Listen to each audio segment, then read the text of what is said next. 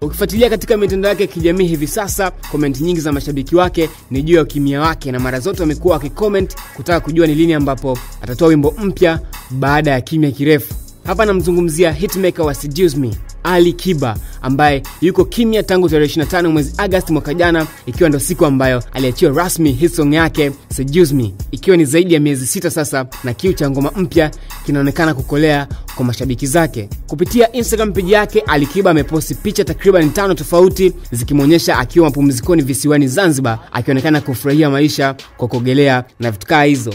Ikiwa kwenye posti hiyo comments nyingi kutoka kwa mashabiki zake zikihoji kuhusiana na ujio wake mpya. Kuna uwezekano kuwa safari hiyo ya Kiba visiwani Zanzibar ikawa ni katika utengenezaji wa video yake mpya na vitu kaa hizo, au vipi?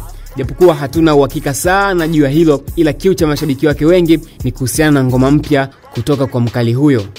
Nikikukumbusha tu King Kiba alidrop Seduce Me baada ya ukimya wa takriban miezi 15 ikiwa ni baada ya kutoa wimbo wake wa Aje mwezi Mei mwaka 2016. Natoka achie Seduce Me yenye views zaidi ya milioni 9 laki na sitini na mbili elfu mia mbili na nane ni miezi sita tu imepita hadi sasa. So kwa maana hiyo basi huenda tukawa bado tuna safari ndefu ya kuisubiri kazi hiyo mpya kutoka kwa Ali Kiba kutokana na kawaida yake na muda ambao huwa anatumia katika kudrop ngoma baada ya ngoma. Endelea kusubscribe kwenye chaneli hii hapa ya Sam Misago uendelee kupata updates zote ndani na nje ya Tanzania.